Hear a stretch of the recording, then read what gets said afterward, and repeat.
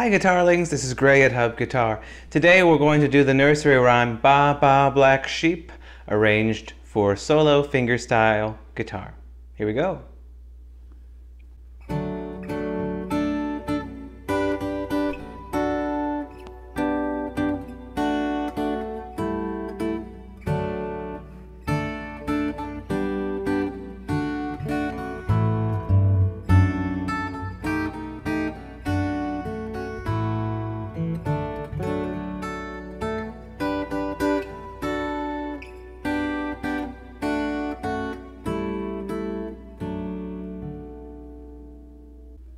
Jumping right in, at the first measure we've got a C major chord, probably the first chord you've learned on the guitar. So I've got my ring finger on the third fret of the fifth string, I've got my middle finger on the second fret of the fourth string, and my index finger on the first fret of the second string.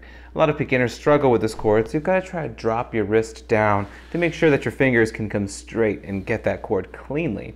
And also make sure your fingernails are trimmed because if your fingernails are too long, it's going to be pretty hard to stand those fingers up straight and tall.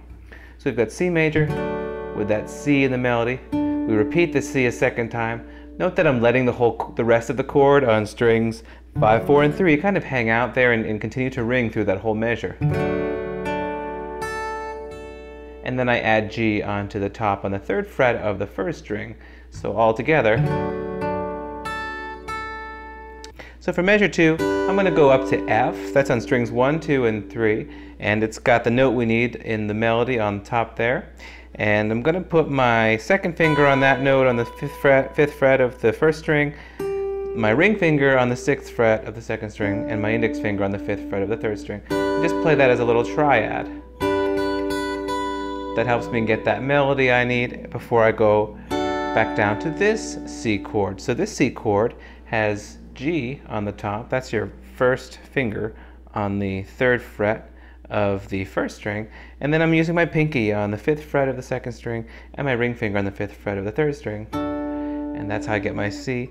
Now I'm going back down to F, but I'm doing an easier three note version of F. I'm not doing the full F you might have learned or even this bar chord. No, I'm just doing one, one, and two. So I can use three fingers for that. I can put my second finger on the first fret of the first string and my index finger on the first fret of the second string and then my ring finger on the second fret of the third string. Or if you feel comfortable with the semi-bar, you can actually use one finger, your index finger, and grab the first fret of both of those. That's, that's fine.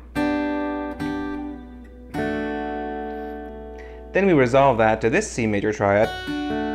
This is just the upper part of the C major chord you played before, but now we're only playing the top three notes, so we really only need to push down the first fret of the second string.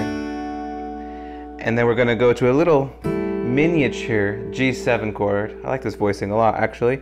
I'm putting my pinky on the third fret of the second string, open third string, and then I'm putting my ring finger on the third fret of the fourth string. That creates a nice G or G7 sound which resolves nicely to the C.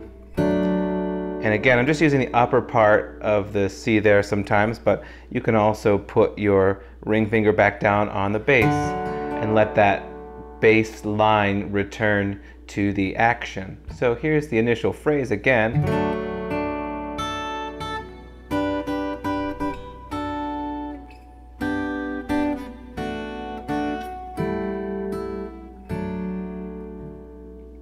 Going back to measure 5, we're going to have a return to the stronger bass line, so there's going to be more action in the bass.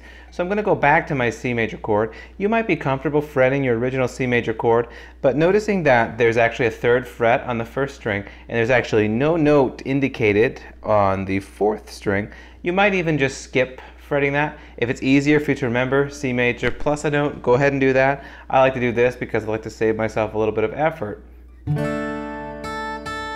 And then now we're going to go to the full F. That's with the little semi-bar there to C. Notice you caught me actually pushing down on a note that I'm not playing. That's fine. And to G. This is a very nice, simple, abbreviated G voicing. And then the bass walks down to the first fret of the sixth string, but notice that I didn't lift up the, my other finger yet because I want that chord to ring a little bit longer. And the bass continues its walk down to open E. And that's also actually a C chord, technically. I'm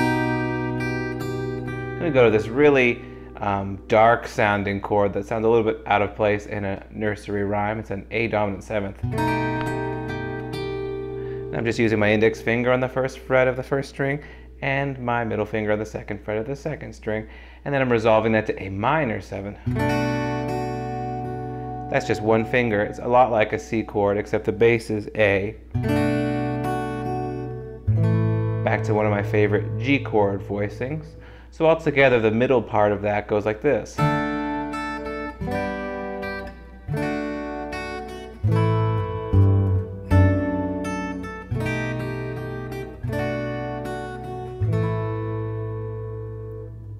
And then for measure 9, 10, 11, 12, we basically just repeat the first part.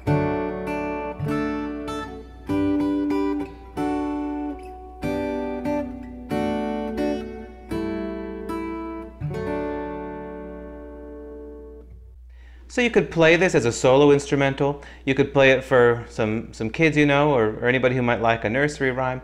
And you can also use it to support someone who actually is going to sing the song because with the melody being on the top of every chord, it will help people to sing along because they'll be able to hear the melody very clearly. So there's a bunch of different ways to use this, but it just makes a great little exercise for solo fingerstyle guitar and helps you see how a simple tune like this can be harmonized and arranged for solo guitar. So that's it for Baa Baa Black Sheep. Thanks for watching.